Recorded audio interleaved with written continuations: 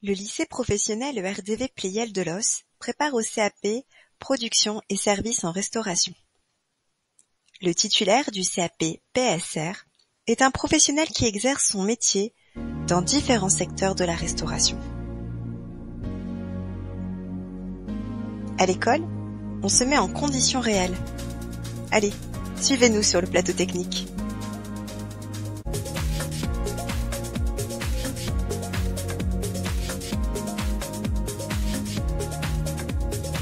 Les élèves forment des équipes de travail dans lesquelles chacun joue un rôle.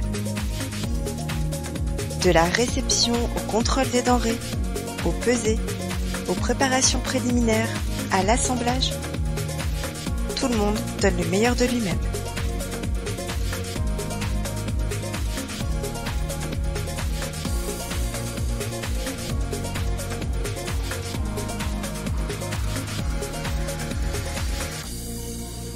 Une journée de travaux pratiques, c'est long.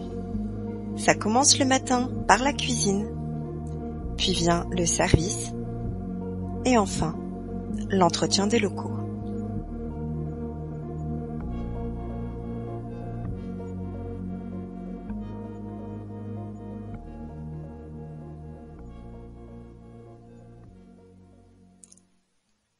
Les élèves développent des compétences techniques.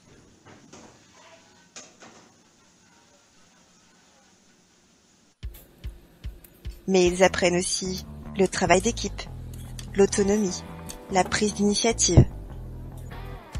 Ils apprennent à exprimer leurs idées et à partager leurs expériences.